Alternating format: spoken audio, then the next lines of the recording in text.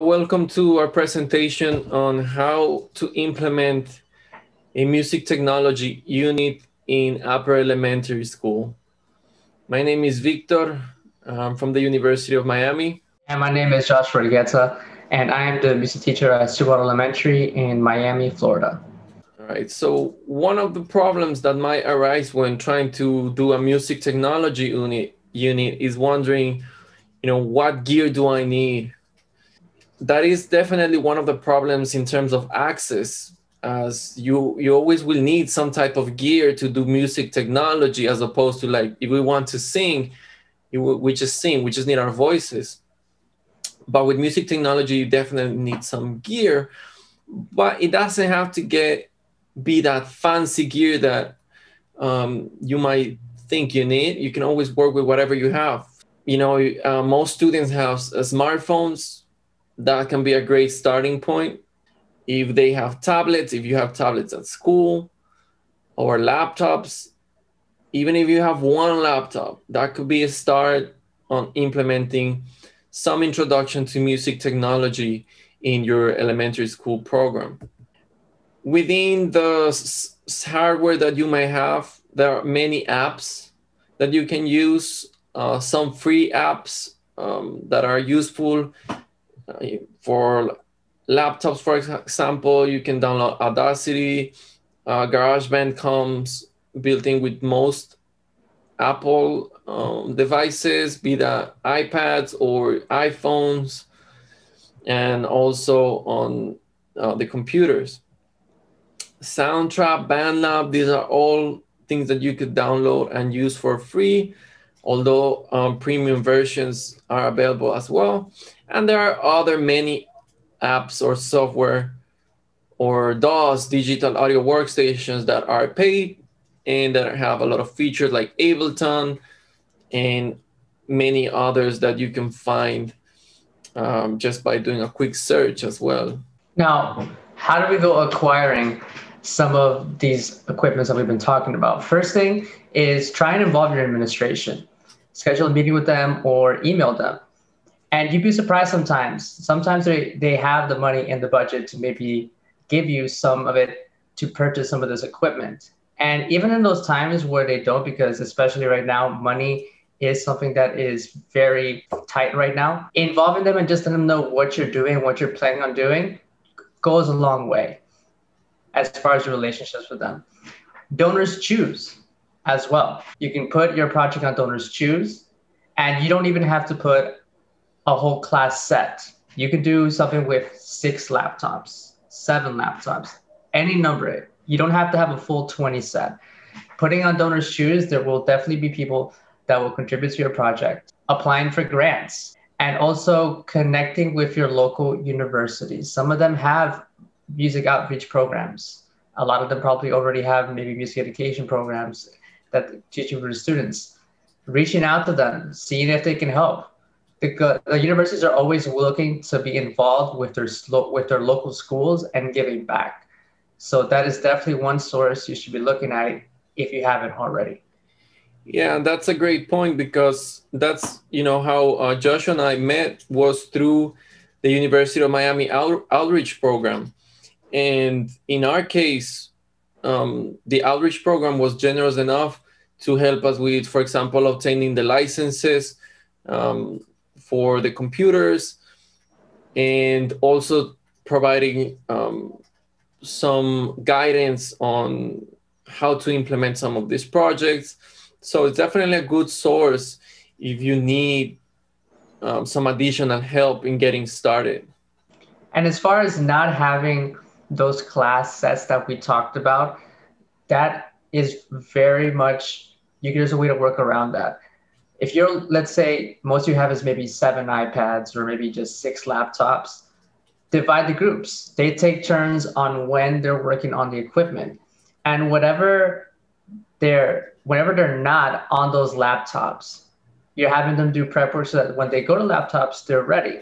So if you're doing something like lyric writing which we'll get into a little bit later they're working on their lyrics away from the laptops. And then once they go on, they do it with the music and making the music that they selected. So there's different ways to work around it.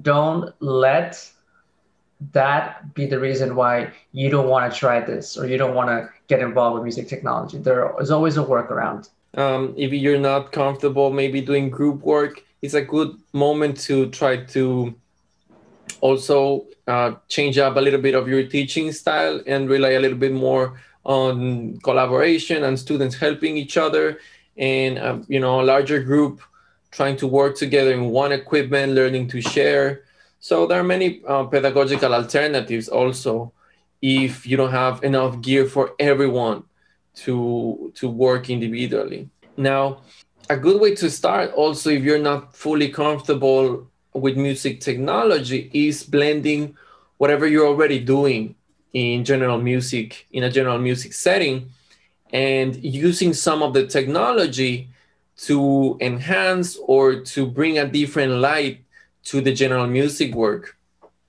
So if you're singing, if you're drumming, if you're doing um, different types of general music activities, you can always just start very simple by recording them, or you know by using um, some gear, and students record that. So that's a that's a great way to begin uh, music technology process, and we will show later how this could be implemented in a full uh, lesson. But those are some ideas that might start uh, get you to think about how you can blend your approach with a general music with a music technology uh, element. Um, we use some of the e- equipment, and then students recorded uh, different sounds from the room. Uh, they recorded the, they created their own melodies. They recorded their own singing. Even in the cases when they were free to record whatever they wanted, a lot of them gravitated towards singing tunes they already knew.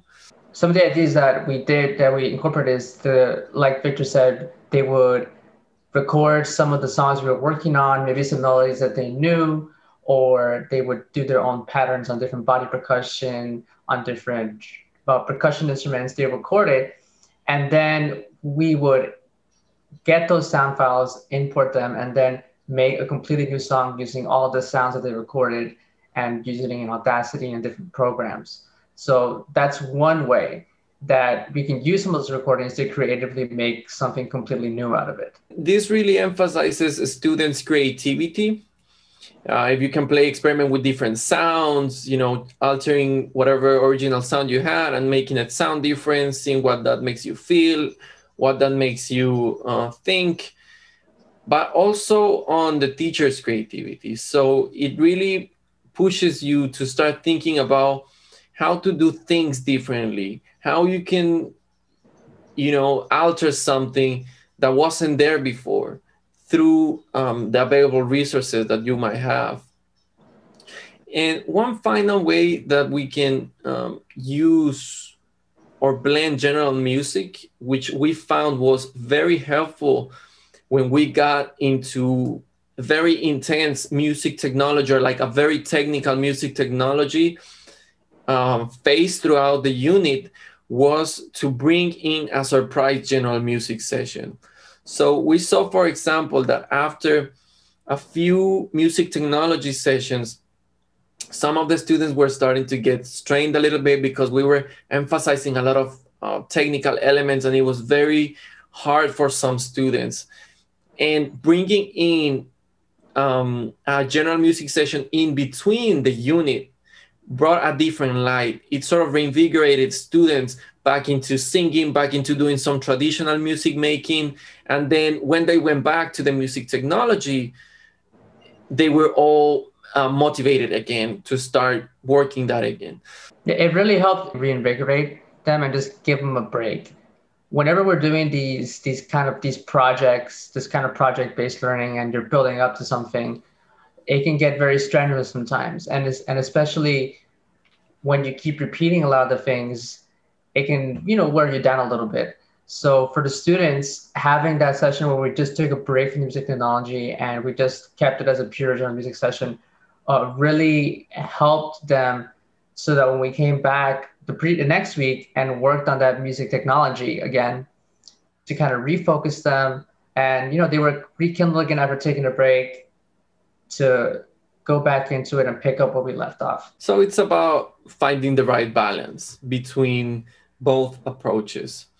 And like we said, you know, it's good to establish a routine, but sometimes building a routine can can also get a little bit monotonous. So changing it up, um, bringing that surprise element usually helps with engagement as well.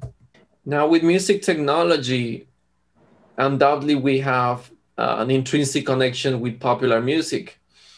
If you're not comfortable or if you don't know about popular music and you're not sure how to start implementing it, well, you know, the first thing is uh, the why. Why bring it into school?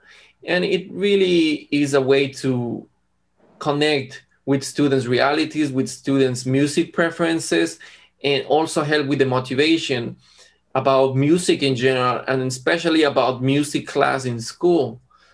So one way to do it, you know, it's how help students select their own repertoire, learn from that, because like we mentioned that brings their whole world into school. Sometimes students are listening the whole day outside of school to their music.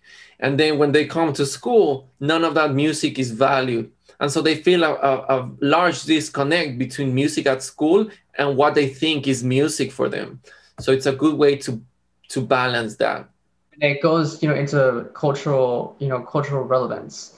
You know what's what's meaningful to the students? And like Victor said how powerful would it be to have the music that they're listening to at home and in their at their houses with their parents in the music class? How legitimizing it is and how more interesting it will all be for them once they make that connection from outside of school inside the music classroom yeah and it's really hard to know what's popular because interests shift really fast nowadays. And what was popular for your fifth grade was not going to be popular for the fifth grade next year. So we cannot always rely on what we thought was popular. Even if you do a Google search and go, okay, what's you know what's popular now? If you get like a Billboard list or something like that, you that might not be the music that your school population is listening to. So it's important to ask them. You know, you can conduct some type of um, surveys uh, using Google Forms or even some inf- just informally asking them and then writing it down. So what you know, or asking them to show you on their smartphones. Okay, show me something that you listen to, and then writing down that name so that you know what type of music they're listening to that you can learn about it and then you can also help them relate to it in a healthier way sometimes so it really it's about knowing your school population, knowing the community that you are in and the type of music that they are listening to, their musical influences, their culture. So that's a those are some of the elements that knowing about their music can help you learn also and develop in terms of your school. And also that helps you build rapport with your students. And also, like Victor said, popular music is changing all the time. And this isn't just something you have to do once. Okay, you're always going to have to keep updated and keep asking your students. They're going to see that you have a vested interest in them and keeping things relevant for them, and they'll be more than happy to talk about what their what their music is. And again, it just garners more interest and gets them more excited for what you're about to do with them in the classroom. We have to be flexible. It's hard though sometimes because we might not like the music that they're listening to, but and then they might not like the music that we like. So we have to be open in that regard and learn from them but also we can uh, help them learn what is it that we like how we feel about our music how we feel about their music and so we empower them in that way also and we be, we share authentically what our interests are as well and we can pose a critique on their music and they can pose a critique on our music because most likely it won't be we might not be sharing the same musical interests but that doesn't mean that we're the only ones with valid music interests. They uh, know a lot about music that we have no idea many times. So, yeah, that's what brings the honesty also in the relationship with students.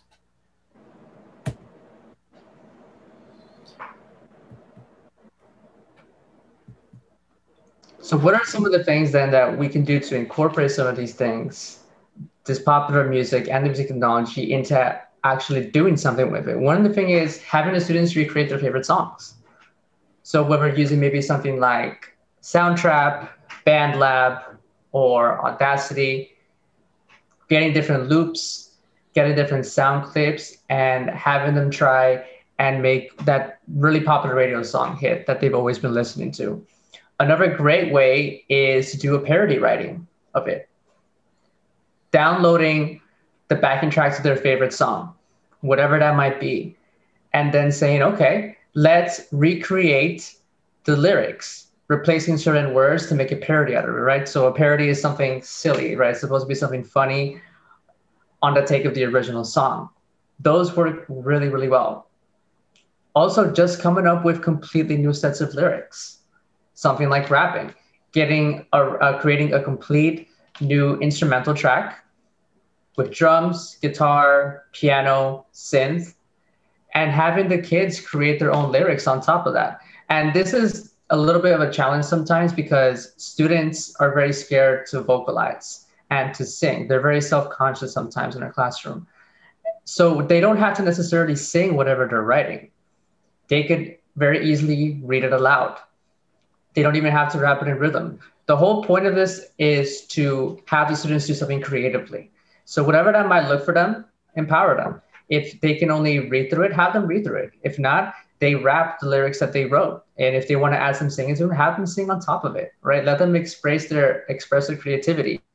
And obviously using the backing tracks when we're doing all this. And this could be something that you download off of the internet, or it could be something that you want to create with your students. Maybe you want to have different instrumental components. Maybe you want to require them to have certain instruments, or maybe you want to have them use a certain pattern in their drums there are many possibilities to take with the backing tracks. So it's really up to you whether you want to download something or you want to create something with your students and then they do the lyrics on top of that. The possibilities are endless here. Yeah, you will find a lot of students who already have a lot of their favorite backing tracks selected, which they use to rap on top of.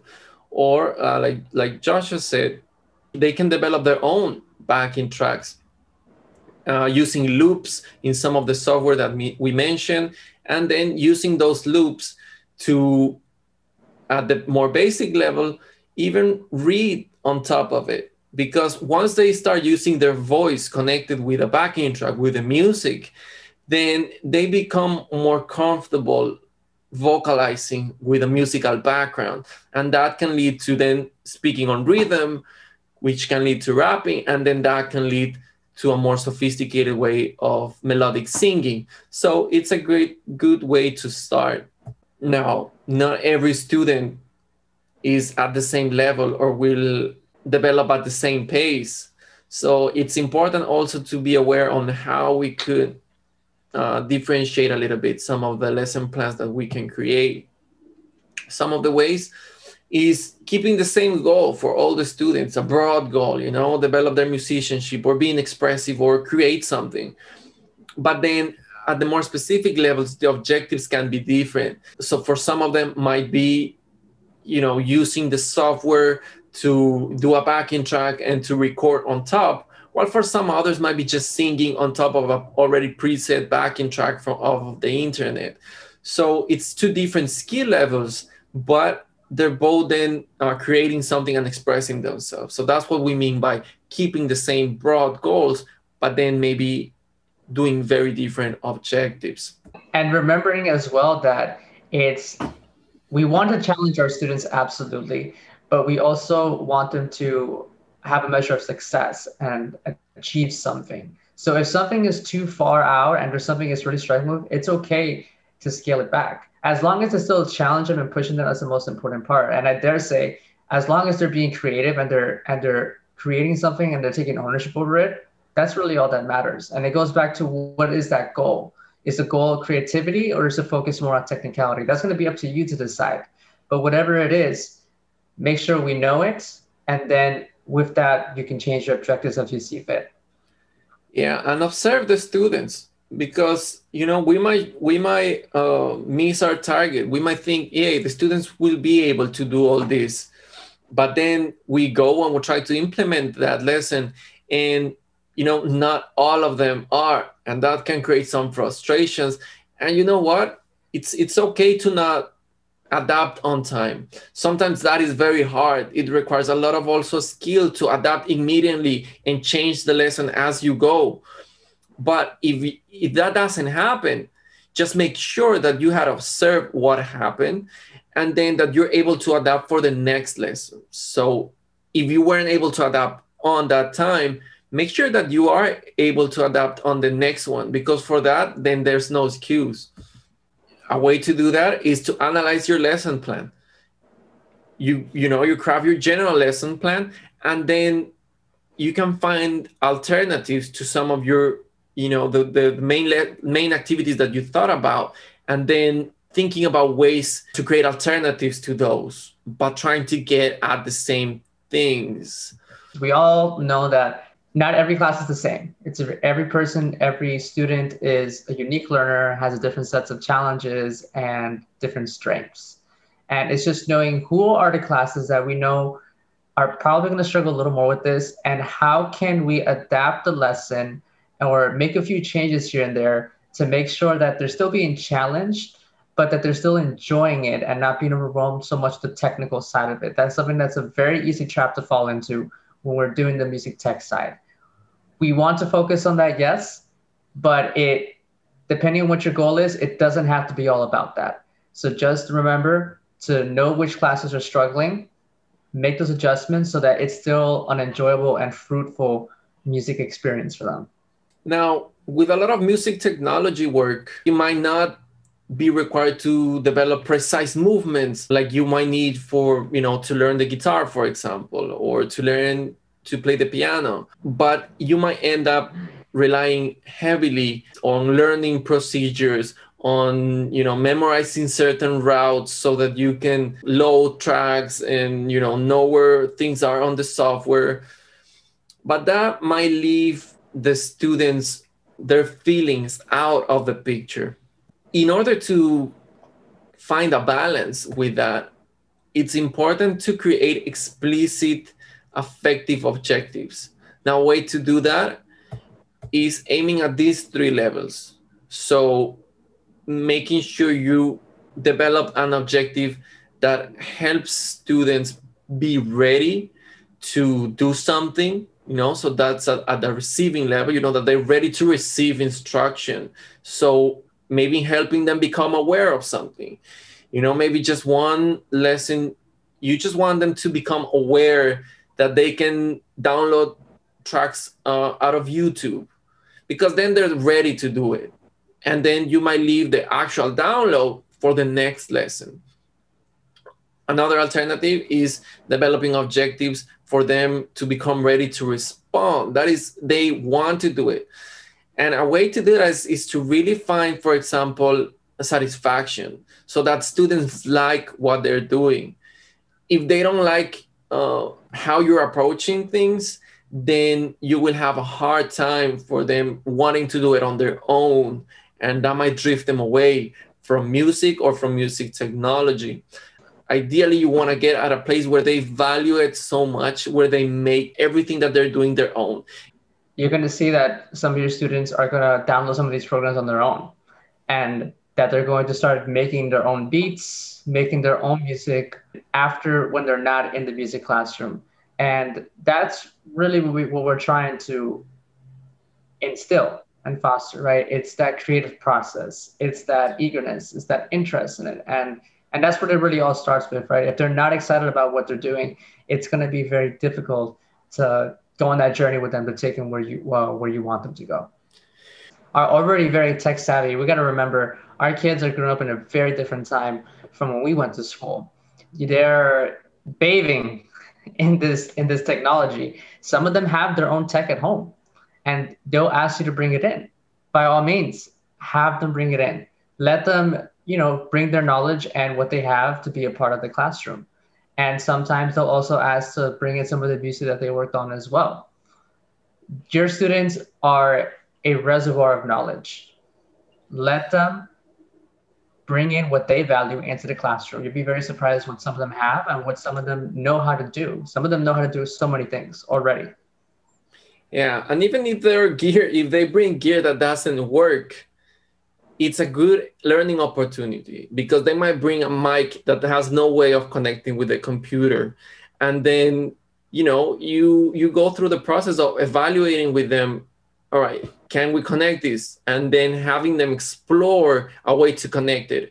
And if it doesn't work, they, then having them reflect on why is it not working? What can we do? Do we need something else?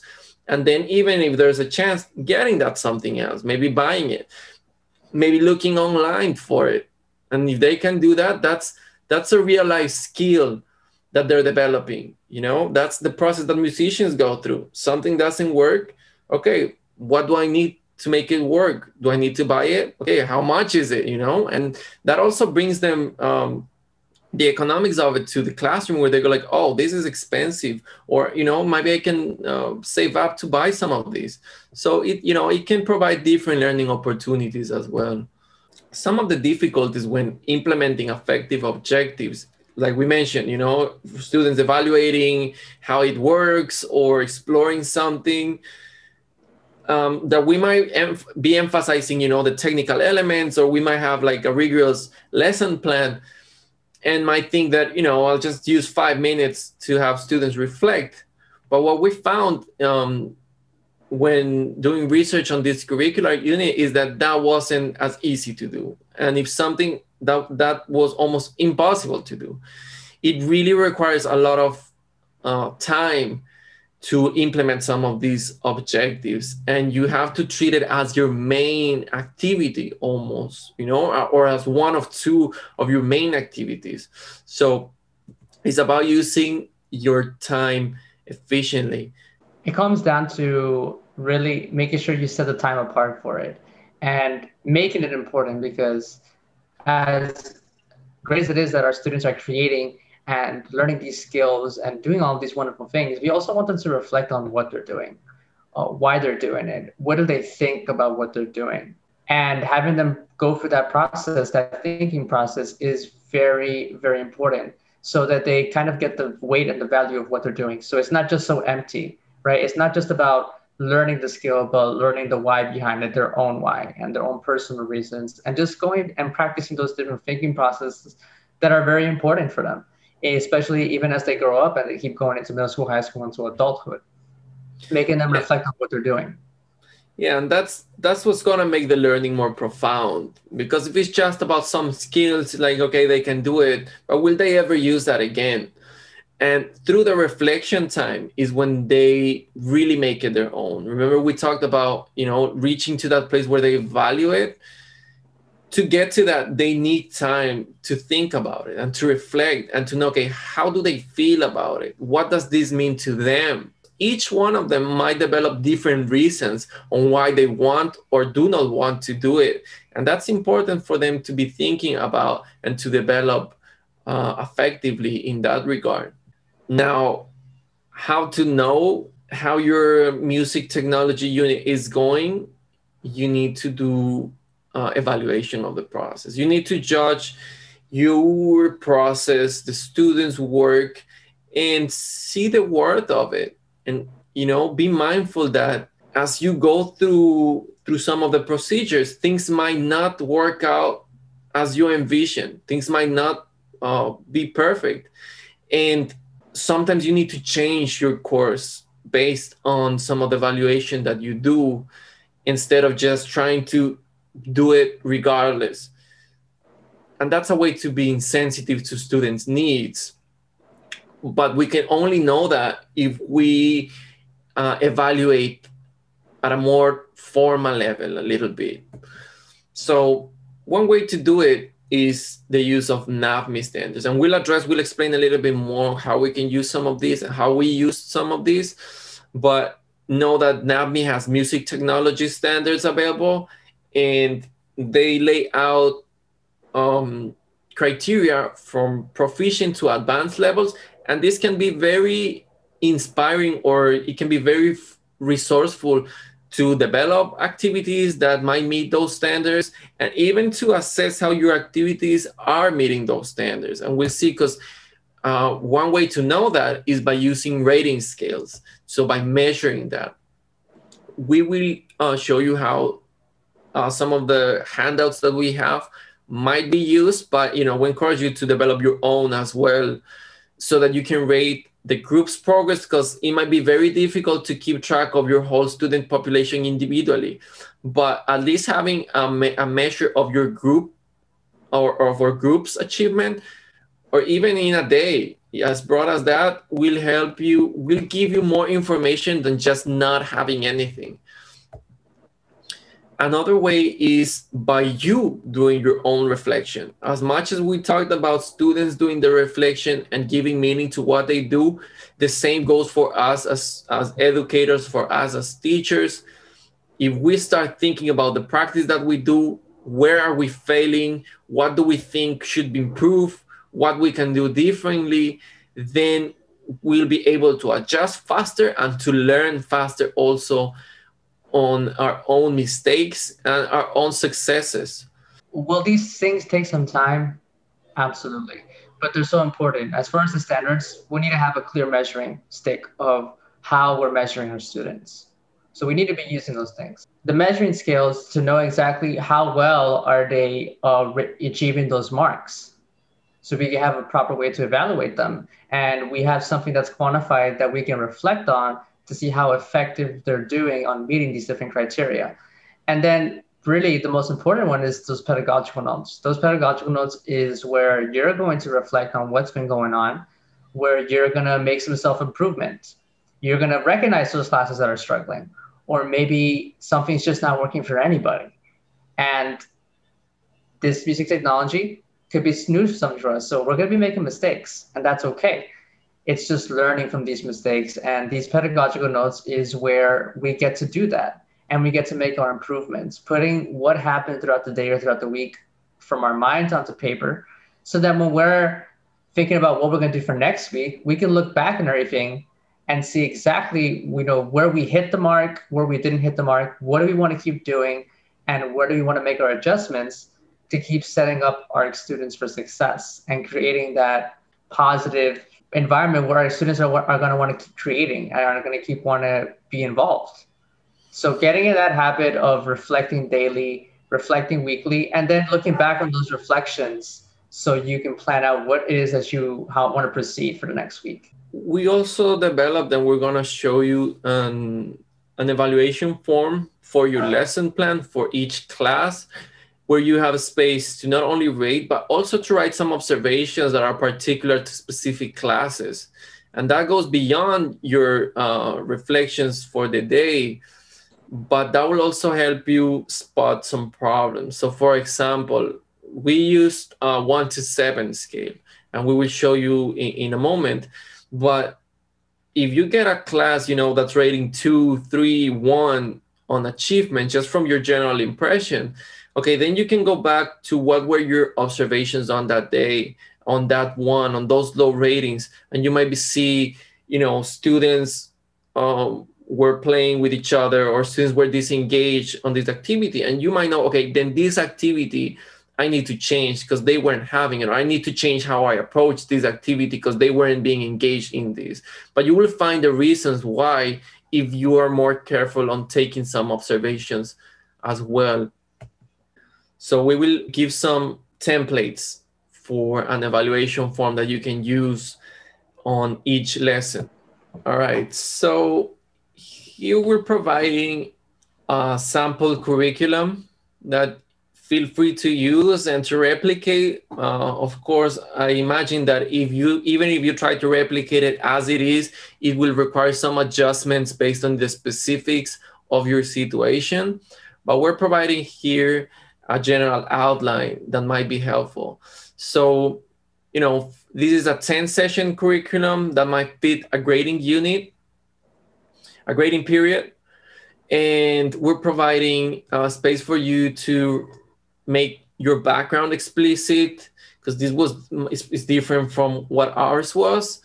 Um, you know, some questions uh, to prompt you to think about the needs for you, for the students and some examples of the resource. It'll be good. It's good to lay out explicitly all the resources that you have so that you can work uh, based on that. Here's what we had. this is all that we had available on the music classroom. Especially what we ended up using was uh, the keyboards that had MIDI capabilities, um, the laptops. Uh, we used also headphones and the Tascam audio recorders. Of course, we use USB cables to connect all these and uh, software, which was Ableton, uh, but also we use Audacity. Uh, here are our goals, which are very uh, only three, but very broad goals that might apply to multiple music situations. So if you remember when we talked about keeping the goals but changing the objectives, this is a little bit what we meant. Now we chose uh, music standards uh, from the creating section uh, within music technology and one with the connect section. So here are the standards that we ended up using, but here's the link for you to see the full set of available standards on music technology. Here's how our curriculum looked like, what we ended up doing on each session. And here it's a little bit of an explanation, which you can take a look. It will definitely take some time to study this curriculum if you wanted to implement it, and perhaps even more work if you want to alter alter it and make it fit your situation, but it can give you a good starting point. So here we have more detailed elements for each session. So this is almost like a, how the lesson plan would look, where we have, you know, the theme of the session, the standard that was used on that session, the materials uh, needed for that session, and we have outlined the objectives, the evaluation criteria for each objective, and the activities that will fulfill the criteria and that would that we thought would lead to those objectives. Now, for the evaluation forms, what we use is the evaluation criteria. So we will show you that on the evaluation instruments as well. And I'll just scroll down really quick so that you see that all 10 sessions are laid out here and available for you to use. Most of them are in table form, but some of them might be laid out as sequences. So this is something that is available for you and that feel free to use and to reach out to us. You'll have our information at the end. So uh, if you need to reach out and contact us, you have any questions or you want to work um, on something, will be available for you as well. And you'll notice as well that the differentiated sessions that we talked about earlier, in the presentation are here as well. So there's some that have the full, a full more challenging set, uh, lesson plan, and then there's one that same object, uh, same objectives but different activities. So if you need to make those adjustments, and at the same time, this is could just be just a jumpstart for you, just to give you some ideas. You don't have to stick to it like Victor said you can if you want, but most often than not, your situation to be a little bit different than ours, or if not vastly different. So make adjustments where you need to, and just have fun with it. Yeah, and here we started on session seven to do differentiated lesson plans for different classes. So maybe four out of eight classes we're doing the regular lesson plan, and another four we're doing the differentiated one as we started to know that it was necessary. So you see here, the main lesson plan has a little bit more components, has much more objectives uh, to meet, is a little bit more detail on the technical side, while the differentiated one is a simplified version that just covers much less, but that remained, um, for example, in this case, uh, addressing the same standards. So you can see that we're keeping the general vision, um, but we're using slightly maybe different resources or just the objectives are simplified. So you can study this a little bit better. Same things happen on, gen- on session eight and session nine. Now, on the valuation here, we have an example from session eight. So you see there's a space for you to rate all uh, the standards and all the objectives as well and space for you to write comments. Now, the way we used it, we, we actually, you know, relied on paper, but and then you have to sort of transfer information. So if you want to do it uh, directly on online if you have a computer and you can use and you can have at hand while you're teaching uh, you can also just rate it usually the rating process happen after the teaching session because you know while you're teaching you're so uh, focused on the work that you need to do that you know this probably takes about five to ten minutes after your teaching session where you go okay you read the standard. Okay generally generate melodic rhythmic and harmonic ideas for compositions on improvis or improvisations using digital tools. And you ask yourself you know from one to seven or you can do a one to five or a one to ten scale how much did they achieve and this is a type of holistic evaluation score where it's just your general impression on the group's achievement and so you might think you know what they were right at the middle. So you know they didn't. It wasn't as good, but it wasn't as bad. So I might just give them. Um, I might just give them a four, and and then you can write here why you gave them a four, and the same here for each of the objectives. So this is just one um, example, but there are these evaluation forms are available for every session of the curriculum. Always try and do it when you finish your classes. Sometimes that's not possible. We have three or four classes in a row, and you know we need to have time for ourselves to take our lunch. But always try and do it as soon as you can, day of. Never try to wait till the next day. That way, you, everything that you you remember, it's fresh in your mind, and you can put it down, and you can just be as accurate as possible. So when you're doing these reflections, they're very fruitful and they're very insightful. And it just comes back to just reflecting on what it is that we do every day.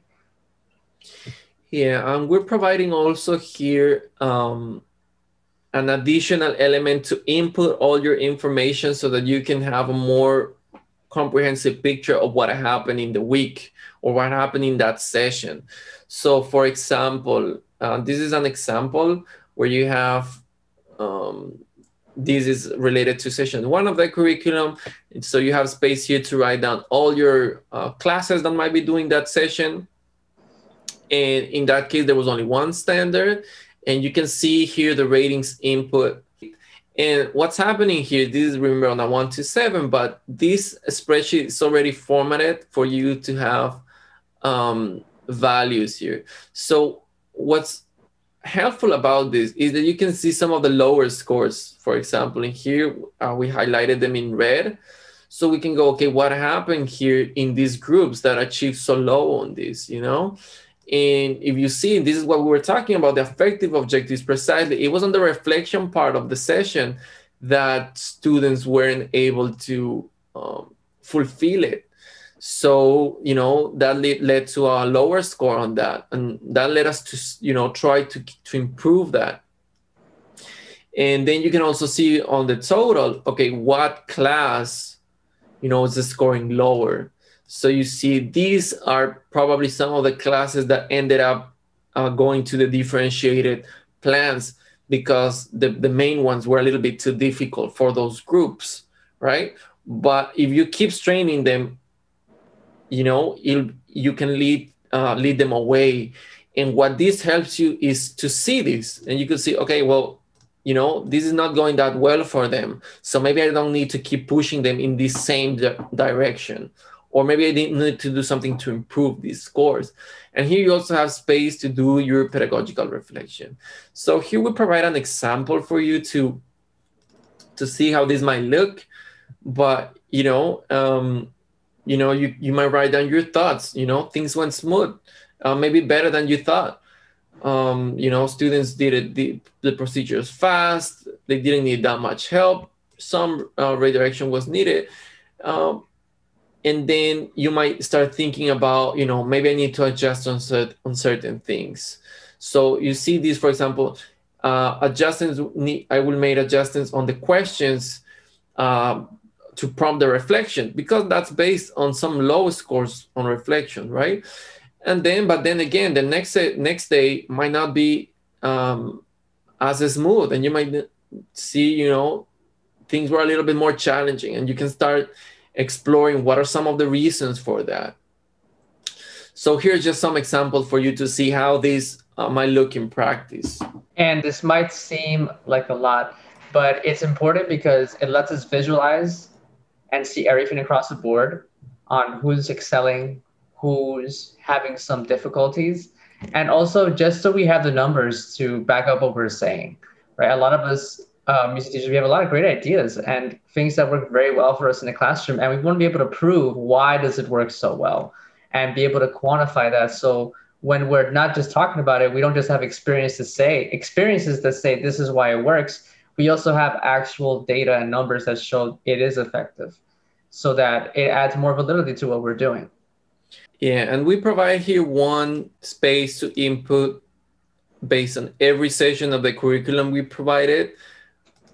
You know, but then again, you can study this to make your own. Or if you wanted to implement the curriculum as we have it, these tables will suit that curriculum perfectly. So just some um, ways for you to to use it and some additional resources in case you find them appropriate for your use. Thank you everyone for watching this session. If you want to contact us, Victor has his email right there. I have my email included in the slides as well, which you'll have available to you for download. And any questions that you have, maybe something that you think uh, we missed and you want clarification or you want to get another idea, please feel free, go ahead, email us here. We'll be more than happy to engage with you and answer these questions because this is something that is still ongoing, right?